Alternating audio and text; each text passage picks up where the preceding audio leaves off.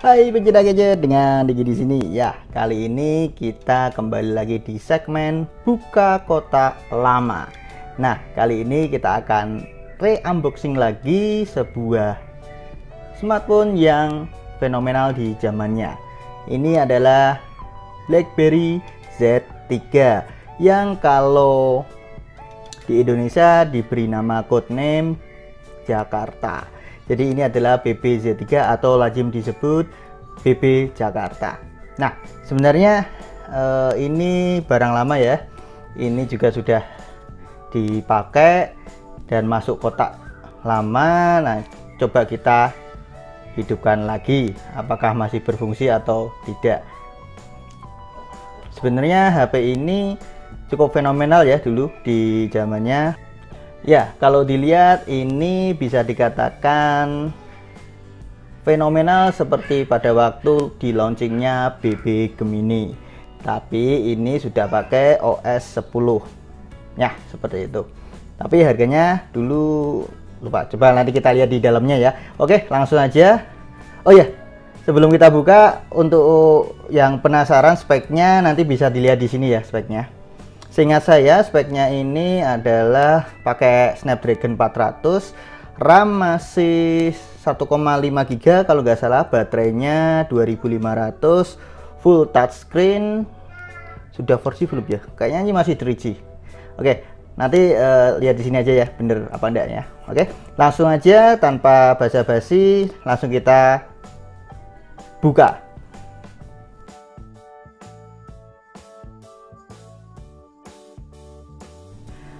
Oke, sebelum kita buka, seperti biasa, jangan lupa klik tombol subscribe di bawah video ini berserta loncengnya, karena satu buah subscribe merupakan bentuk dukungan akan kemajuan channel ini ya. Uh, langsung aja kita buka yuk. Oke, di sini kotaknya gini ya. Wow, keren juga sih dulu BlackBerry kotaknya. Ini ada ada kayak plastik ya, ada tulisan emboss gitu ya, tulisannya Black uh, BlackBerry tulisannya atas ini biru tulisan BlackBerry ini IMEI dan PIN.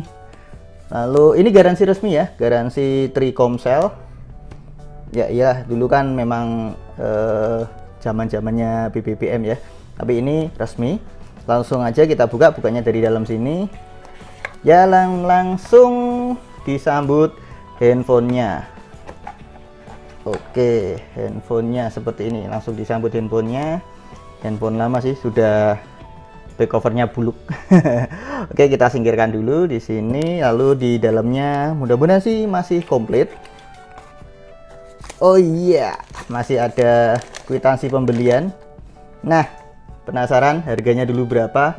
Harganya 2.525 belinya di Semarang. Sekarang kalau harga segitu dapat apa ya? Ah, silakan kasih komentar di bawah. Lalu selain itu dapat apa ini? Ini oh service centernya dari Trikomsel oke lalu ini apaan ini? Kitab-kitab yang nggak tahu ini user manual atau apa sih? Agen juga dulu nggak pernah dibaca kartu garansi Trikomselnya kartu garansinya panjang banget nih. Ini. Berarti ini pertanda garansinya resmi ya Trikomsel nah lalu ada ini user guide ya. User guide seperti ini.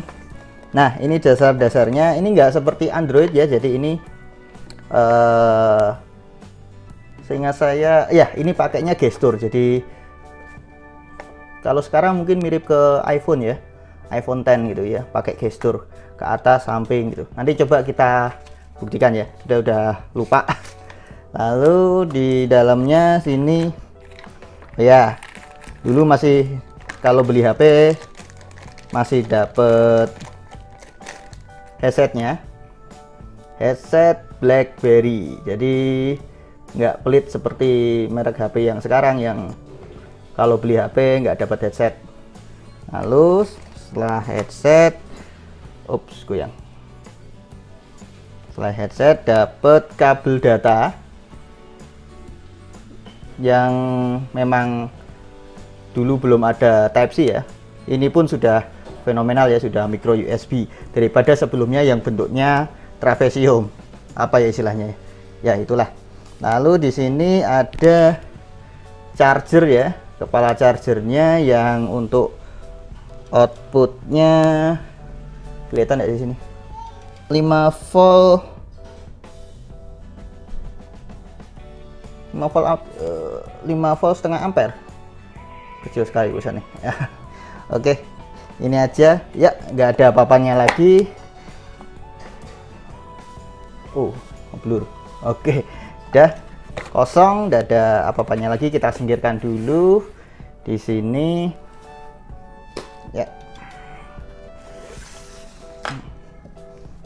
Lalu kita fokus ke handphonenya. Ya karena ini handphone lama ya jadi buluk banget. Sudah. Ini seperti biasa ya. Kalau dulu ibaratnya uh, ini ibaratnya kalau sekarang itu pegang HP di sini ada logo Apple yang kegigit. Dulu kalau pegang HP ada logo semacam ini sudah keren. Macam kayak manajer-manajer dan bos-bos dulu. Oke okay, tapi ini back covernya sebenarnya keren sih. Ada kayak semacam eh, titik-titik uh, apa jadi untuk grip itu digenggam enak gitu nggak licin. Lalu di sebelah sini bisa dilihat di bagian bawah ada tulisan BlackBerry sebelah atas ada kameranya walaupun resolusinya kecil. Ada speaker earpiece. Ya di sebelah atas ini terdapat lubang jack audio 3,5 mm di sisi sini ada oh ya ini ada tombol power ya lalu volume rocker. Lalu yang tengah ini untuk apa ya ini sebenarnya bukan tombol power sehingga saya tombol powernya di sini ya dan di sisi yang sebelah sini ada tempat untuk SIM card dan micro SD. Lalu pertanyaannya kenapa diisolasi? Karena sebenarnya sudah patah. Jadi kalau nggak diisolasi bisa bolong. Nggak percaya? Nih. Oke. Di bagian bawah sini ada colokan untuk ngecas dan pindah-pindah data.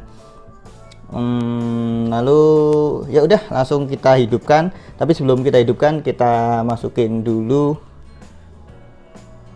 ini ya. Kayaknya masukin gini.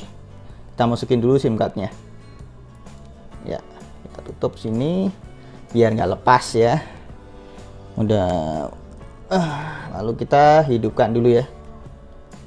Kok nggak bisa hidup ya mungkin sudah baterainya sudah habis ya langsung aja uh, eh bisa ding bisa hidup dan muncul tulisan BlackBerry Wow. Keren. Ya, dulu bootingnya keren ya ini uh, kalau BlackBerry bootingnya melingkar gini. Untuk BlackBerry tipe uh, maaf, untuk BlackBerry OS 10. Kalau OS di bawah 10 biasanya cuma garis saja, tulisan BlackBerry garis. Ini ada persentase, ada logo BlackBerry-nya. Oke, kita skip aja sampai hidup ya.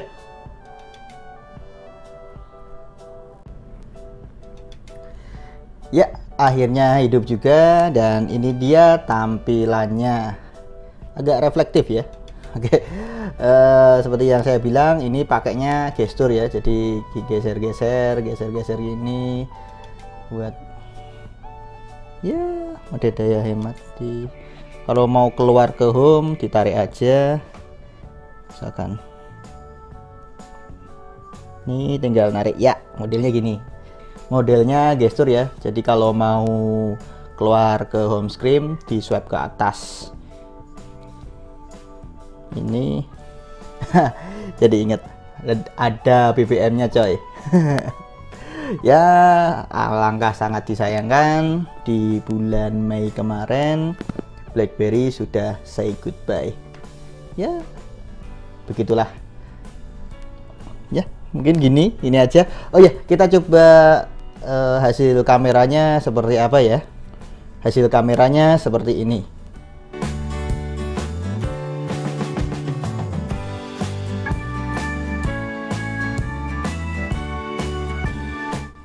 Ya, tadi adalah sedikit contoh dari hasil kamera BB Jakarta ini. Bagaimana? Ya, seperti itulah. Oke, baik. Mungkin sekian dulu video kali ini. Bila ada kata-kata yang salah, mohon dimaafkan. Jangan lupa klik tombol subscribe di bawah video ini beserta loncengnya. Karena apa? Karena satu buah subscribe merupakan bentuk dukungan akan kemajuan channel ini. Dan silakan kasih saran. Besok kita akan buka kotak HP lama apa lagi ya. Silahkan tulis di kolom komentar. Baik, sekian dari saya. Diki out.